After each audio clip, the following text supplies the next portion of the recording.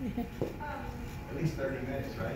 Yeah, um, twenty-seven. Twenty, oh, only twenty-seven. So just uh, a, a little disclosure, my, my background up until about four years ago was on the carrier side. I was at Anthem for twenty plus years and then out of Seattle for a couple of years. So typically as a, as a corporate person I was for twenty plus years, Didn't go anywhere without a giant PowerPoint deck. So today I thought, well, I'll do a little something different, less formal, even though I have the suit on, and I would do a little bit of a discussion. I was asked to talk a little bit about small group, large group, and, and what a consultant role looks like. Of course, I didn't realize I'd be the only slacker without this big PowerPoint presentation, so I apologize. Uh, try to make it uh, somewhat short since I'm the last person as well. So small group, uh, there was already a, a number of things discussed. The superintendent, I, I thought, did a terrific job outlining some of that. And oftentimes when we talk about healthcare here in Maine, and I've spent 25 plus years, my entire career on the healthcare side, we, you know, a lot of times we talk about the jumbo employers, when in fact it's, it's smaller employers that make up the backbone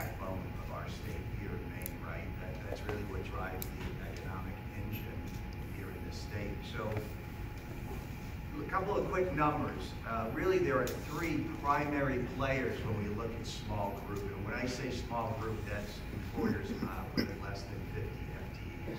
Okay, just so everybody has, a, an idea of what I'm referencing.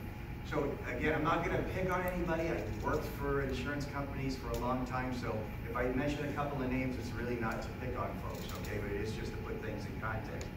So I, I think you mentioned you're a small group, right? So you mentioned your increase. So that's not unusual. Small group, community health options is out there. Their average increase is about 12%. For Anthem, it's 15, and, and again, not to pick on Harvard, it's around it's around 20, right? So if you're in that space, that's the sort of increase you're seeing. So I'm not telling you anything new. The other thing that happens in small group that I think um, is an issue and I thought it was an issue when I was at Anthem as well, is that the rates are really only released 60 days prior to the renewal. And so that by the time you get that digested and delivered, your window is really short on what you're able to do as you know, an impactful decisions and big decisions, right? When you look at your P&L statement, you look at salaries, and then you look at the cost of benefits. They're always one and two on the P&L. So I think that really should be looked at holistically what could be done to get those rates out? Maybe say 90 days or even 75 days. I think it would be a, uh, really an advantage for employers um, to do something of that, of that nature.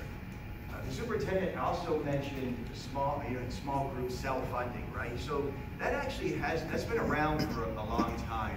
Uh, there's a couple of carriers that aren't around anymore that actually uh, had, had self-funded small groups really never got a lot of traction. And I'll tell you, it, it didn't really receive traction here in Maine until, until Aetna put out a product four or five years ago. And they went to the market and said, hey, we have a solution for small employers. Instead of just going to the community rated market, you could self-fund your, your small company. Okay.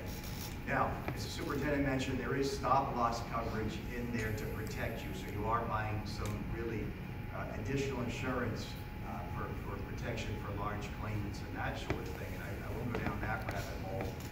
Um, and it has been really successful, but to the detriment to the small group market. And the superintendent mentioned that, right?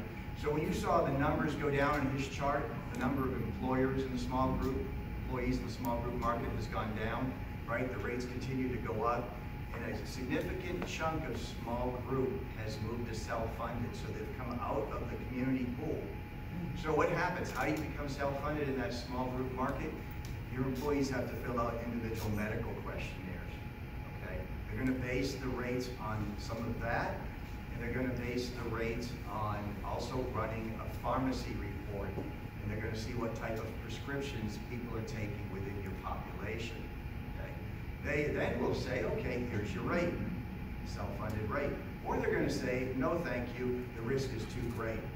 And then what case, what happens to those folks? They stay in that community rated pool. Okay, so I think, I think Superintendent mentioned that's viral potential. And we saw this in the individual market a number of years ago. So this does continue to be a, a problem in the small group market. I'm not sitting here saying you should do this or you should do that. Uh, they're tough decisions to make. I will tell you, even with the significant, significant increases that we're seeing on those self-funded plans, they still are typically less than what's in the community rated market. So we have clients that receive a 25, 30% increase on that self-funded plan, and they look at the community rated pool to see if they should go back there, but it's actually still less uh, in the self-funded market, okay? So there's a lot of different dynamics that are going on in small group that I think just makes it a, a really tough space, and I think it makes it a difficult space to regulate uh, as well, okay? So I just move real quickly uh, into large group, and disclaimer, I spend most of my, my time in, in large group, and when I look at large group, I'll say right up front, I'm a big proponent of self-funding if you are in the large group market space. The large group doesn't have to be five or 600 employees. It doesn't. It could be 150 employees and up. And it could go, it could go lower than that, but then it, it, it becomes a, a bit volatile, okay? I think you have to ask yourself two questions if you're thinking about self-funding, either a small group or, or particularly large group. And that is cash flow and risk tolerance. That's really what it comes down to. And if, if you can answer those questions honestly, or your CFO can, or your CEO, then I think that's a great discussion to have with your consultant. Okay? I, I was out doing a presentation with a, a, a relatively new customer, and, and frankly a large one, 500 employees, and uh, we had a discussion at the board meeting around self-funding. At the end of it, the president pulled me aside and said, hey, great presentation, but remember, I'm a bank, I'm not an insurance I'm not sure I really want to go down this self-funded road. So what does that mean? That basically means risk tolerance. It really is not a cash flow issue with this particular customer, it's more risk tolerance. What keeps you up at night? Okay, so those are really the things you need to kind of walk through. So a lot of people think, okay, I'm going to self-fund and I'm going to save a whole bunch of money, right? Well, that, that may or may not be true, and it's dependent upon how your claims run. Right? So there's no silver bullet. I can't sit up here and say, hey, let's do this and that, reduce your cost by 10%, 12% or something of that nature. Really what I like to do when I talk about self-funding, I like to talk about plan design. What can you do around plan design that can impact those numbers, it can impact those claims costs, right? There's the administrative cost over here in this bucket that's relatively small. And then you have your claims fees. Okay, and that's really the piece you ought to be focusing on is the claims. So I, I really, uh, somebody had mentioned it earlier, but I, I, I, one of the things that I like to do is to take a look at centers of excellence, okay? Where should things be done for heart transplants? Uh, could be on can, cancer, other, other um, options are bundled payments. I'm not sure if people know what bundled payments are. But bundled payments are you going to be paying something, say for a uh, hip or knee, we're going to pay one fee for that entire episode around a knee or hip, and you're going to want a warranty on it. So if something goes wrong, you don't have to pay for it twice. Okay? So there's a lot of different payment mechanisms out there when you're self-funding that you can do around plan design that I think gets at more of the cost equation, and that's the claim piece. Okay? Um, so that, that I, you take a look at that. There's something I did in Seattle uh, with the state of Washington. They, they had 250,000 members on this particular state of Washington account. Is we went to infusion therapy. Infusion therapy, we did outpatient, or we set up clinics to do that, or home uh, infusion therapy as well. And we were able to save the state of Washington millions of dollars by moving some of those into what I would say is a bit more appropriate care some of the carriers have programs to do this, but again, on a self-funded basis, you're able to do some of these things, move those costs around to really more appropriate places to have the service, frankly, probably you know more convenient, particularly the home infusion therapy as well. I'm going to talk just quickly about pharmacy, and it, that's been discussed a lot. I, I agree they have taken some, some bullets. So you, you'll hear a couple of things like transparent PBM, right? Um, what I would say is, is I'm more interested in getting at the cost. So, so pharmacy is really kind of a black box. There's a lot of things that go on behind behind the curtain that the you know average consumer doesn't understand uh, and is frankly not privy to. So what we've been doing a lot of is shopping the pharmacy separately from all the other products that we have on the medical. So don't bundle, we de, really kind of de-bundle it, if you will.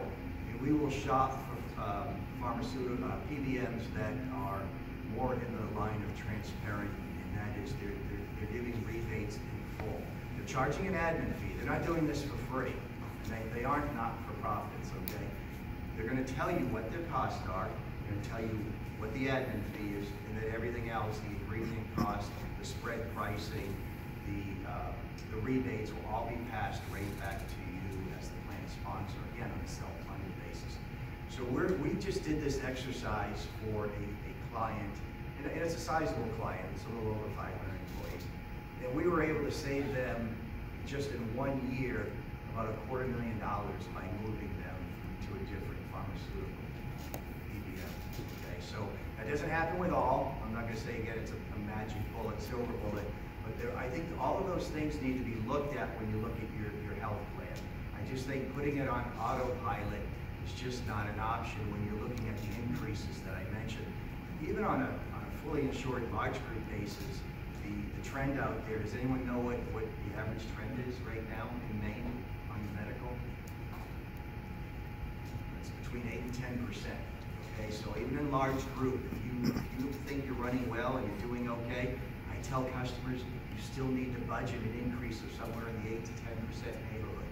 So when they're doing their budget, we don't have the renewal yet, the CFO calls me and says, Mike, what should I budget for the upcoming year?